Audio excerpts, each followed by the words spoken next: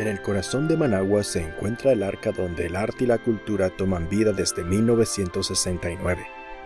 El Teatro Nacional Rubén Darío, mejor conocido como el Elefante Blanco, se destaca por su arquitectura y diseño acústico que a pesar de los años aún se destaca como uno de los mejores del continente. Muy poco después de su inauguración en 1969, el periódico New York Times lo calificó como el mejor centro de presentaciones escénicas en Latinoamérica. La idea inicial era inmortalizar la memoria de Rubén Darío a través de, un centro cultural que llevase su nombre. En este caso, por recursos no se hizo el centro cultural, solo se hizo el teatro. Después de mucha diligencia por recaudar fondos para su construcción y darle vida al concepto, se logró obtener el presupuesto de 2 millones de dólares para su edificación. En esa época eh, fue, y sigue siendo una novedad, porque fue uno de los teatros más, eh, modernos de la época. Aquí convergieron muchos grandes ingenieros, arquitectos, eh, sonidistas, ingenieros en sonido. En la construcción se contó con la asesoría especializada del Dr. Ben Schlanger de los Estados Unidos, quien sirvió como consultor general, y el Dr. Wilhelm Lassen de Dinamarca como consultor acústico. Ambos trabajaron conjuntamente en otros famosos teatros, especialmente en la nueva Ópera Metropolitana de Nueva York y en el edificio de la Ópera de Sydney, Australia. Al final fue una mezcla de muchos teatros eh, norteamericanos, muchos teatros también europeos, y le dio una, una, singularidad, digamos, a, a, la, a, la, arquitectura centroamericana, ya no se diga la nicaragüense, ¿verdad?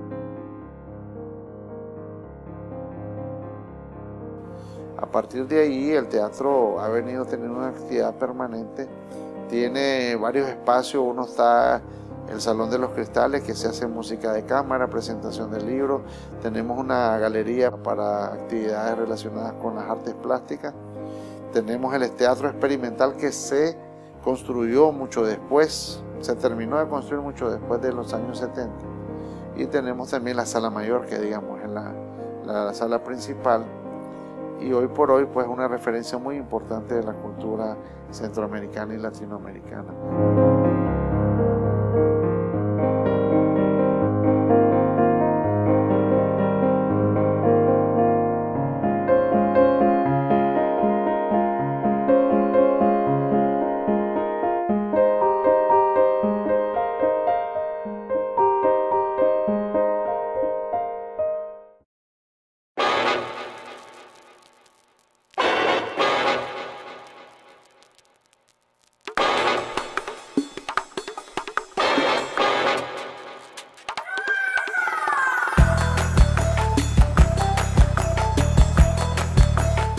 Teatro han pasado los más emblemáticos artísticas internacionales y ya no se diga los nicaragüenses. Antes del triunfo de la revolución, el teatro tenía una actividad con artistas nicaragüenses bastante baja.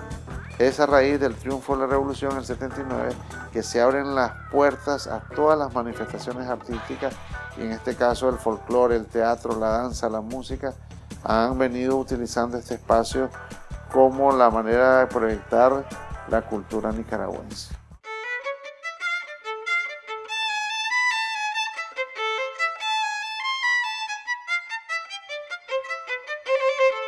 Tengo la edad de 19 años, inicié mis estudios de violín en la Academia de la Música Nicaragüense con sucursal allá en Mazatepe cuando tenía 7 años de edad. El violín eh, considero que es uno de los instrumentos eh, más difíciles que eh, algún ser humano pueda aprender y me costó bastante lograr dominar los aspectos técnicos eh, que tiene este instrumento, pero poco a poco uno como que logra ir yendo, eh, dominar eh, todas estas dificultades y el, el, interpretarlo y estar acá con la orquesta es algo magnífico y algo único porque te das la oportunidad de entregarte a vos mismo hacia el instrumento y demostrar las verdaderas emociones que sentís a nivel musical.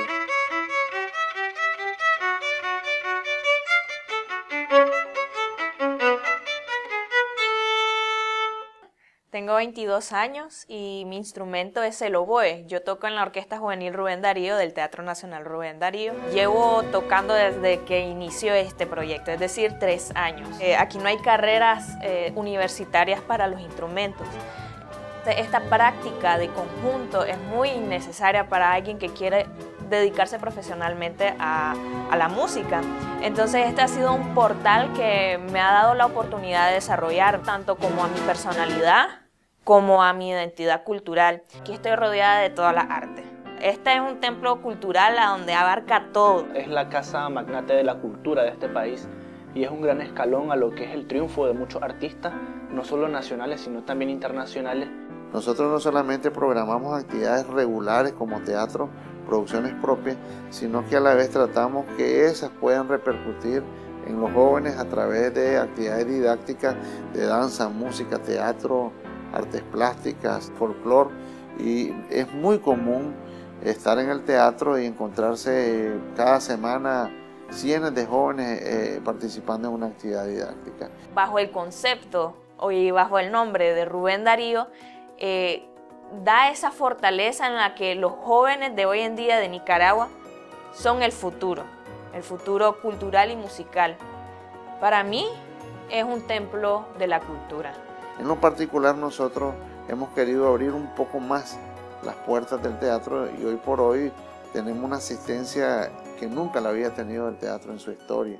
Pero al final el teatro es un centro de la referencia cultural de Managua y hemos caminado por el sendero de ver que podamos eh, mejorar, ofrecer eh, e integrar a todo el público posible que le gusta las artes en Nicaragua. Yo creo que el principal mensaje que uno le puede brindar a la juventud de este país es de que sigan sus sueños, que hagan lo que les gusta y que aunque no sea música, o sea, sea danza, sea pintura, sea cualquier rama cultural, eh, que lo hagan, porque la mejor atribución que le podemos dar a este país a esta tierra nicaragüense es de que cumplamos nuestros sueños y demos el mayor realce y orgullo a nuestra nación.